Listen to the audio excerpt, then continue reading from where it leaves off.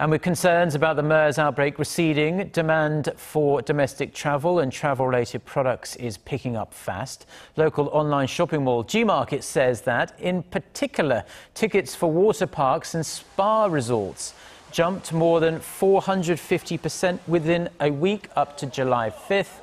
This compared to the first week of June this year.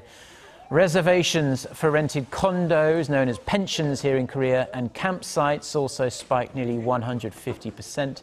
Now, this is extremely welcome news for the local tourism sector, which has been rocked by the MERS outbreak.